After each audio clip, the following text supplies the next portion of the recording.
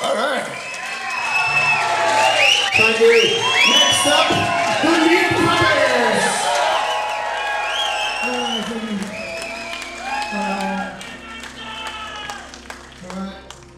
I mean, at 15, I was playing the fucking banjo, you know? And I discovered that music was something that I found interesting to do, you know? And I really didn't get into rock and roll until later than that, you know?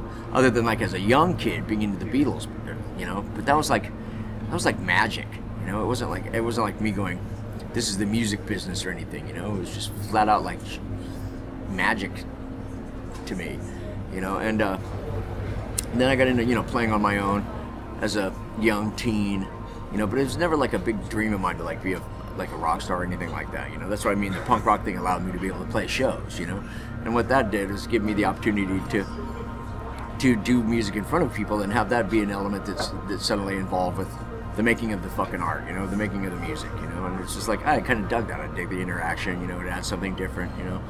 So, uh, yeah, I'm fucking content to be above ground. You know what I mean? All things considered, and that that we're we still get to play.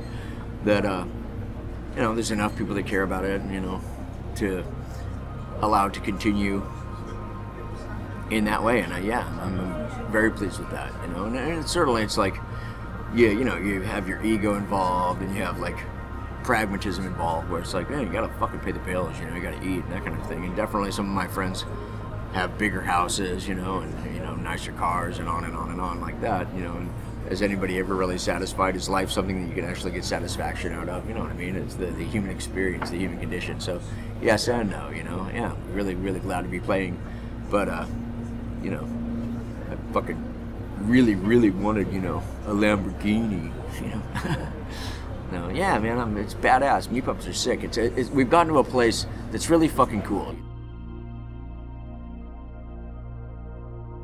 I grew up in the 70s as a teenager, you know, started getting into music as a kid.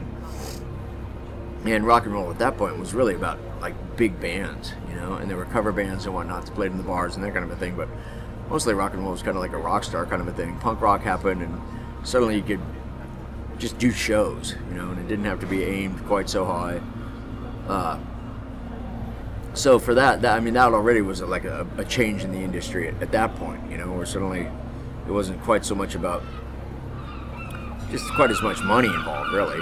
You know, so we made we wound up putting out a bunch of records on an independent label. SST was the label that we were on. It was Black Flag's label, you know, and uh, it was real cool because I mean the the side of it that I was interested in was the art side, you know, actually getting the work done, you know, and then there's like the business side of it and like the acclaim and that kind of thing, and it just wasn't. I mean, it, it, it plays a part in it. If you can actually put that together in a single package, you know, where you're like, you know, or it's something that people want to just have uh, as or, or, be near or whatever, you know, and yet also make you know your art. That's one thing, but I'm kind of withdrawn, you know. It's not that big of a thing to me. I like the like playing the music and going in the studio and making records and stuff like that. And, and we were able to do that because of the punk rock thing that had happened. You know, suddenly you could just make records, and it, there was a lower level of the commercial side of things involved. So, but uh then it went on, and then you saw the major labels suddenly start to be interested in stuff like us, and Nirvana broke that out, you know. And there's, and then bands kind of after that, there was a whole thing where they turned it into alternative and all this kind of different stuff. And it's still business folks. And then a while ago, you know, the internet blew up to the degree that it did. It really kind of broke the backs of those people in a way, you know, to where suddenly you see, like in the states, anyways, you know, records are topping the charts, selling pretty much like independent numbers you know, in a way. You know, they're not selling millions and millions of records and getting on top, of the charts. They're able to come out and sell tens of thousands of records and top the charts because it's it's that's I mean obviously the major difference. And it's not like I'm fucking informing anybody of that. It's it's you know pretty glaringly obvious that like you can get music for free now if you want it. So you know, and it, uh, you know it hadn't affected me that much. You know. because I never made that fucking much money doing this, anyways. You know, I've got to get around the world a lot, played music a whole bunch, and been the person that I wanted to be.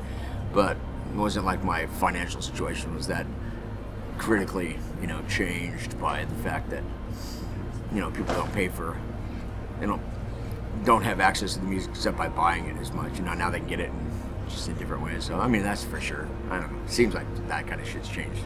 Nothing's changed in my fucking world, you know, really. So.